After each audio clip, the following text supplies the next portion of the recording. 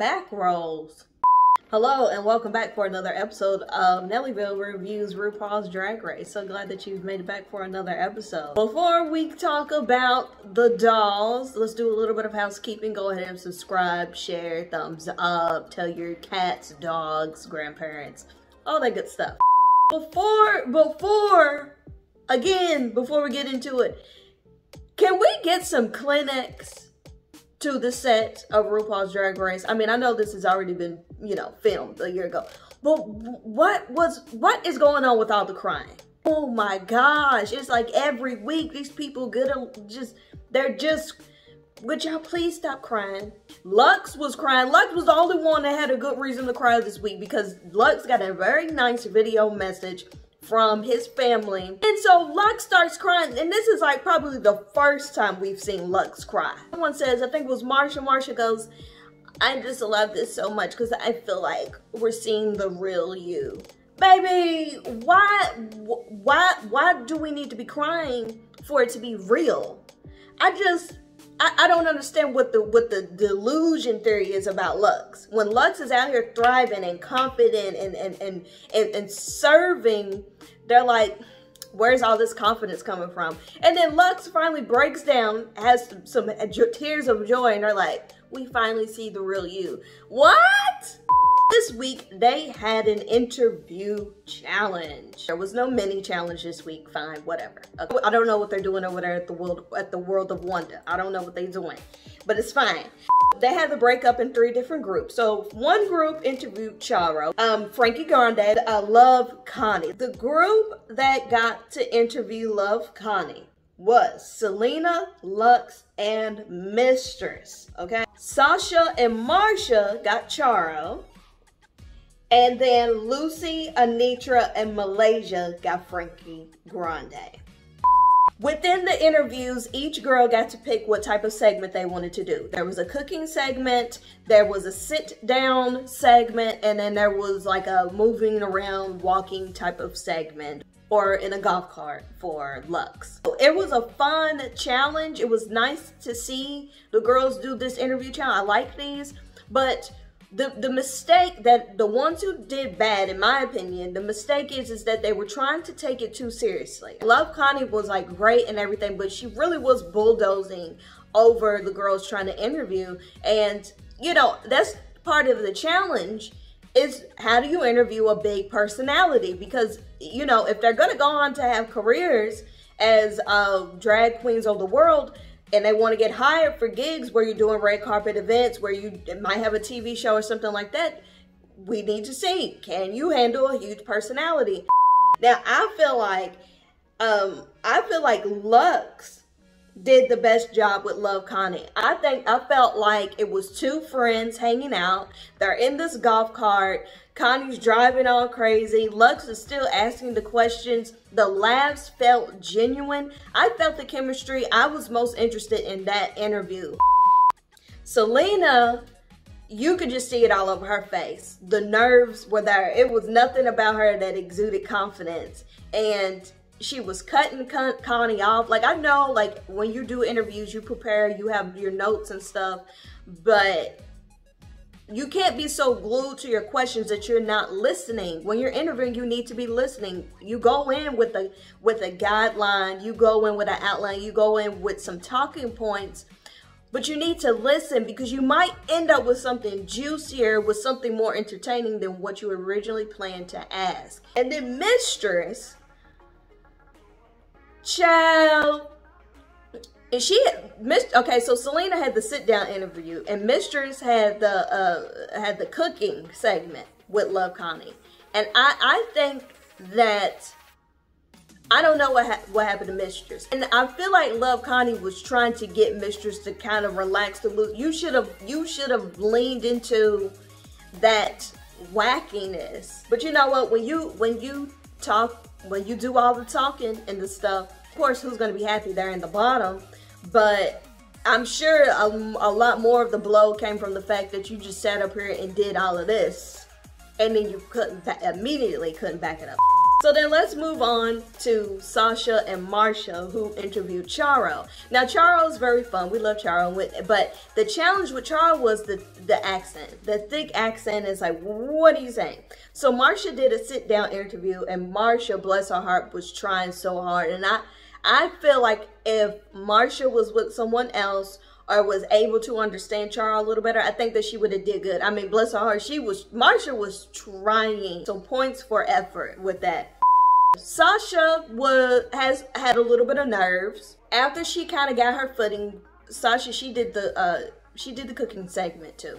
But when she finally caught her rhythm and she ends up, she throws the cards, her little question, her little cue card, she throws them over her head and she just kind of leans into being in the moment with Charo. And it actually turned out pretty cute. It, it was it was decent. We do the Frankie Grande, okay? And uh, Lucy did the sit down interview. And honestly, I don't know if it's that I'm just annoyed with Lucy. Look, Lucy's drag is great, but at least the way that they're editing her on the show, I'm just annoyed. And maybe that is clouding my judgment from her actual performance. But for me, I didn't enjoy the interview. I felt like it was fake. I didn't like the fake laughing. It felt like she was trying really hard. It didn't give, but they loved it. Anetra, I liked Anetra's segment with Frankie. Now, Anetra and Frankie, they were like doing like a little jog you know, they would, would do a little, little power walk outside. And Anetra was did really well. And she was engaging in the physical activity without getting distracted or without losing her train of thought. And then you had Malaysia. Chill. Okay, first of all, Malaysia, what were you what were you wearing? Malaysia looked like she worked in the accounting department for a small family owned business that is in a small town with a population of uh, 3,500. And I was very confused. And the the wig alone, I couldn't get past the what what what was that wig? And then she just shut down in an interview. Wild thing is, is of the three people to interview, Frankie was the best one to interview because Frankie was actively trying to help the girls out. So let's talk about the runway looks. Okay, so the theme for today was a night of a thousand Beyonces. Um, I, I, have a lot of feelings about this runway, but um, let me just say this. One would think that this would at least be a, a, a, an elevated, nice fashion runway. But I, I'm, I, I, I mm, oh, it was a squirrel over there. Let's let's just look at the looks, and I'm gonna be honest. Everybody looked tacky. Okay, Anetra, what is this? Lucy, this was probably the one that really got on my nerves. So Lucy did the look where Beyonce did the uh, baby bump reveal, right? The wig is okay. The makeup is okay. But she revealed the baby bump and I'm like, where's the bump? Maybe Lucy was trying to be accurate with the depiction of the bump. But when you are on stage under the lights and you have on black pants and you are a man, okay? You need to make the bump big you need to make it obvious like hey baby on board. So it's it's a big no for me but oh they lived. All right Luxx Noir London. Now i didn't hate this look but i wasn't really living for the makeup. And there was something about the tights that threw it off for me. But i do appreciate this look because I, this is a look that has been worn by a lot of greats, not just Beyonce, but it's also before Beyonce was worn by RuPaul. It was worn by some other people, but one of those people before even Beyonce wore this outfit, um, RuPaul have had worn it before, so it was a cute little uh, history behind that outfit. Now, Malaysia Babydoll Foxx. Um, this this was one of the ones that the outfit wise that I could actually tolerate. But what ruined it for me was that wig. Marcia, Marcia, Marcia. Now, Marcia's look was fine, but it didn't really look like the reference. Like it did, but it just didn't. Then we have Mistress. Now, this is probably going to be my favorite look. So, Mistress did something really cute and actually did Beyonce from Destiny's Child, and she included Michelle and Kelly. I thought that that was really clever. It was very camp. It was funny. And the dress on her looks really good. Then we have Salina. No. Immediately no. Salina Estes. Okay, I just, I had to get that out of my system. But I like the wig, but not with this outfit. And then she came out with the, all the little Grammys, but they're like little RuPaul heads. It was a great idea, but I could have done without it.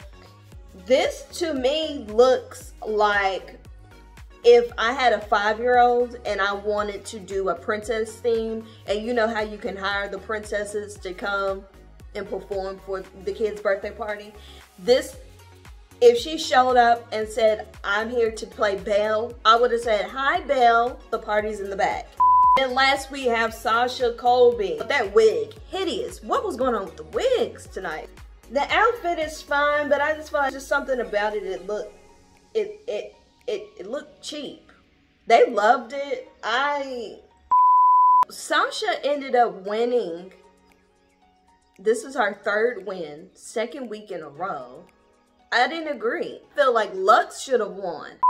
So in the bottom, you have Salina again in the bottom. Salina is in the bottom again with Malaysia Babydoll Foxx. So they lip sync to single ladies, right? Everyone, including myself, knows or knew the choreography to single ladies. It's really not that impressive. As soon as the song starts, Salina immediately busts into the choreography of single ladies. And one might say, oh, that's so great. To me, I feel like, girl, what are you doing? I need, I need, like, what, like, that didn't impress me. It was predictable. A few bars later, Malaysia's joins in and starts doing, now, Malaysia had already given up on herself. It was very clear. And even when the judges were uh, talking to them and going over their performance, Malaysia was very already defeated. She was she had already packed her stuff self up and gone home mentally. So she has this moment and she like gets emotional and stuff on stage and she's like explaining like, oh, I'm just da, da, da, da. But the thing that tickled me was like she had this vulnerable moment. She opened up and then RuPaul was just like, okay, thank you. So you, I, and I, I just thought that was so funny. So I don't know if they edited out something that RuPaul said, but to me, it came off as RuPaul was like, baby, if you don't want to be here, then you going home. The guest judge this week was uh, T.S. Madison.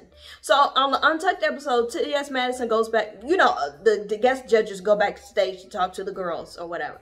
And so T.S. Madison goes backstage and she, the first, one of the first things T.S. Madison said was what I was thinking, which was, what's with all the low energy? Why is everyone so down? I'm she specifically uh, has a conversation with Malaysia, and she was like, especially you. She was like, "What's going on? Talk to me." Like I'm like, yeah, because Malaysia's energy was just like, like, baby, go home at this point. And anyways, back to the lip sync. That lip sync was crunchy. They both were weak, and really, even Bianca Del Rio said it. She they should have both went home. So Needless to say, Malaysia ended up having to sashay home. So congratulations to you, Sasha. And Malaysia, I hope that you are feeling much better now and uh, I, hope that uh, maybe you can come back for an All Stars. I would love to see you on an All Stars when maybe you kind of work through some things because I see the potential. That thank you for watching. Subscribe, follow, share, all that good stuff, and uh, yeah. Bye.